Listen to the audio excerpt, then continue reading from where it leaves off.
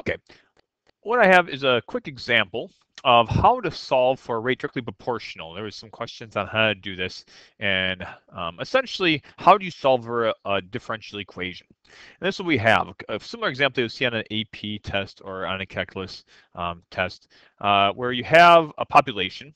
It's increasing at a rate directly proportional to some sort of equation. And here is our equation. This is directly proportional to 800 minus P of T, where the constant proportionality is K, all right? And we are given T is in years, and then also T has to be greater than equal to zero. Now, with this information, we're going to first set up our differential equation.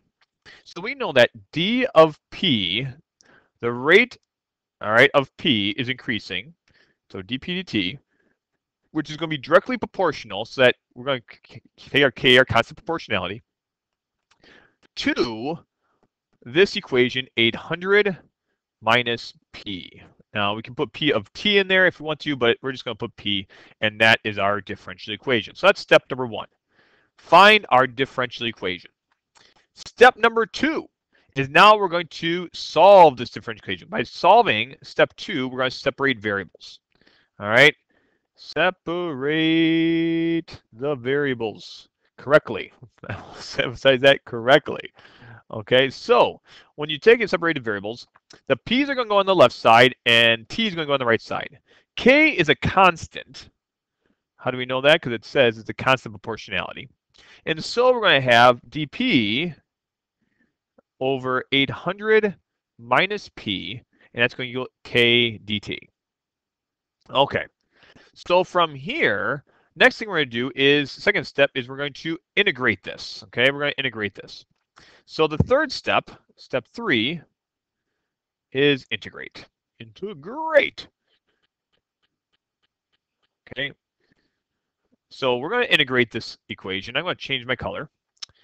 And from here, and I'm going to also move this down. This is going to be our next thing we're going to do, is we're going to now take the integral of both of these sides. Now remember k is a constant, so this side, the right side, is going to be k, the integral of k of t is going to be kt, all right, plus c, right, at a constant of integration right there. That's our constant of integration of integration. Now, when you integrate both sides, you just need one constant integration. And so this side, we're going to integrate. Well, now what we have is 1 over 800 minus p. Well, we can use u substitution here. Or you might know how to do this by hand, but I'll just do u substitution. And if we take u, u is going to equal 800 minus p. Um, we take the derivative of this, du, and what we have is negative uh, du. All right uh, or dutp. Okay, and that's what we have dp right there. We divide by the negative, so negative du is going to equal dp. And so if we set this up real quick, we see realize that we have, we're going to take the integral of negative du over u.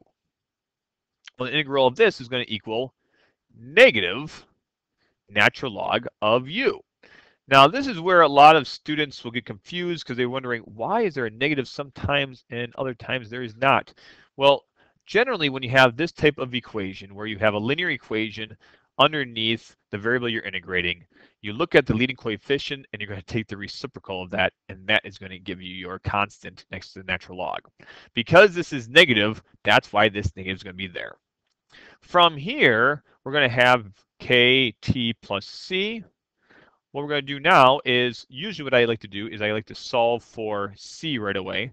So now next step, step four, solve for C. Okay, solve for C. And when we solve for C, we're going to plug in our value.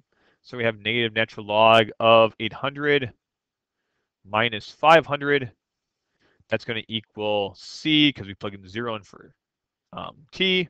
And so we have negative natural log of 300 is equal to C. Continuing on, all right, and I'm going to keep on pushing all this stuff down, all right, okay. Step four is now we're going to solve for our value. So now we take that, plug it back in, and then now we solve for P. So step five is solve for p, or whatever our value, our dependent variable is.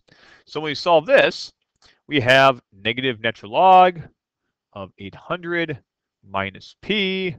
That's going to equal um, kt minus natural log of 300. We can divide by the negative, so we have natural log of 800 minus p equals negative kt plus natural log of 300. From here, moving on down, we're going to e both sides, get rid of the natural log. We have 800 minus p equals e. When we e it, we're going to have e negative kt. This right here, we can actually rewrite it as e to the natural log of 300, which that will turn into 300 right there. And so we have 300 e to negative kt. I'm going to subtract 800, divide by the negative, and that is what p is going to be. So we can put p equals, if you want to rewrite it, this is fine. All right, 800 minus 300 e to the negative kt power. From here, we can solve the remainder part of this problem. So what we just found out, okay, maybe just to summarize, what we just found out right there is that this is the equation we're looking for in terms of k and t. That's our differential equation. For the next one, what we're going to do is now we're going to solve for k. So in order to solve for k, we take our point and plug it into our original. And so what we have right here is going to be 700 equals 800 minus 300 e to the negative k2 or negative 2k. Subtract that, other side, so we have negative 100, divide by negative 300, that equals e to the negative 2k. Just rewriting that a little bit. That's going to turn to 1 third. We're going to natural log both sides, negative 2k. And then finally, what is k going to equal? k is going to equal right here, um, negative 1 half natural log of 1 third as our answer. And that's k. Okay, we can see that right there.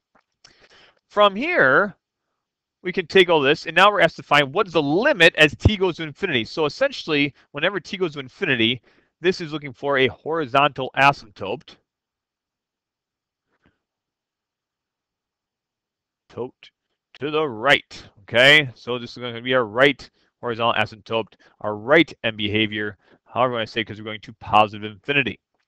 So to find this, we're going to just take the limit as t goes to infinity.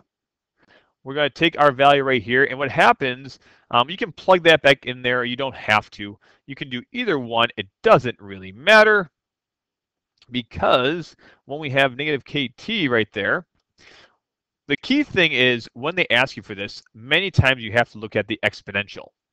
When you have an exponential, that's going to lower or change this into where you're going to have 800 minus 300. Well, any exponential with a negative is actually going to make it the reciprocal. And so when we have this limit as t goes to infinity, we're actually having 800, which doesn't change, minus 300 over a very, very large number because this growth is getting very big in the denominator. So the numerator grows less than the denominator, okay? And therefore, guess what? This approaches zero. So 800 minus zero is 800, and that's why our limit, our horizontal asymptote to the right, is going to be 800 in this case. Because we have an exponential, and this is negative, and we're going to positive infinity.